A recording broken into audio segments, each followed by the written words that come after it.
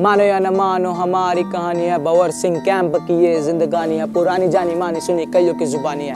देखो जो दिखाएँगे, सुनो जो सुनाएँगे मानो या न मानो हमारी कहानी है। सूरत से पहले हमारी सुबह होती है, चार बजते ही यहाँ जंग शुरू होती है। सोच की यहाँ समस्या बड़ी है छोटी छोटी गलियों में जनता बड़ी है, जनता बड़ी है।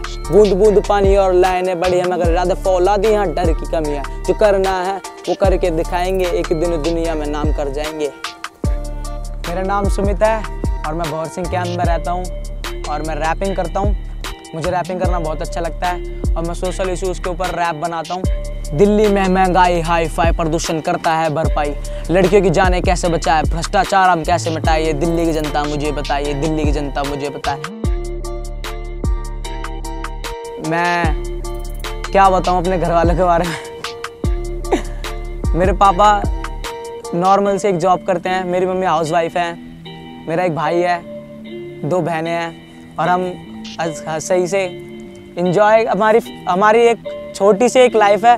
उसको एंजॉय करके जीते हैं। और मेरे को रैपिंग का शौक है मेरे घर में। सबसे छोटा मैं ही हूँ और सबसे खोटा भी मैं ही हूँ।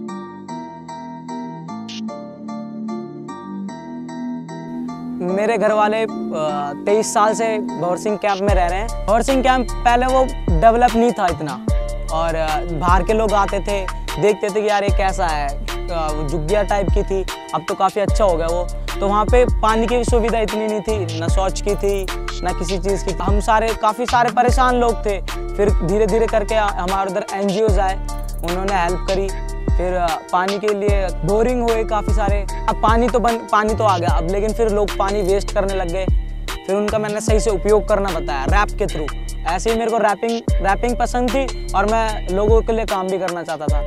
तो मैंने वो दोनों मिक्स कर दी। आजकल सारे रैपर हिप हॉप रैपर सारे पार्टी टाइप्स बनाते हैं। लेकिन मैंने सोचा कि यार हमारे जो भारत में, जो हमारी छोटे छोटी कंट्रीज़ में, अपने शहरों में जो जो छोटी छोटी दिक्कत हैं, उनके ऊपर रैप बनाते हैं। उनको लोगों को दर्शाते हैं कि क्या क्या होता है हमारे साथ। सब जानते हैं, दिल्ली यहाँ की राजधानी है, पर कम यहाँ पर पानी है। ये दादी की नहीं कहानी है। मैं दिल्ली में ही रहता हूँ, सारे गम में भी सहता हूँ। ये आम लोगों पे व्यंग है, ये आज नहीं मेरे संग है। ये अपने घरों को तो साफ़ रखते हैं, पर गलियों में गंदगी फैलाते हैं। ये बीमारियों से गिर जाते हैं, फिर दोष ये सब पे लगाते हैं। हम सब यही चाहते हैं, जिस मुकाम पर है दिल्ली, उससे उसको ऊपर उठाना है। दिल्ली है राजधानी, हमें राजधानी को दिल्ली बनाना है। जैसे कहते नहीं है कि जितनी चादर उतने पैर पसारने चाहिए। अपने समाज के लोगों से ये बताना चाहता हूँ कि जितना हमें मिलता है, उसमें खुश रहना चाहिए। जैसे हमारे पास छोटा घर है, लेकिन कोई बात नहीं, हमारे बड़े सपने, उनको सपनों को पूरा करने के लिए मेहनत, उम्मीद दोनों होनी चाहिए। मैंने, जो भी मैं अभी तो ज़्यादा बड़ा नहीं हूँ, मैं छोटी सी एज है, तब भी मैंने बस इतना सीखा है कि परिश्रम, ये बहुत ज़रूरी है लाइफ के लिए। और मैं वही करता हूँ, मैं रैपर बनना चाहता हूँ, मेरा वही लक्ष्य है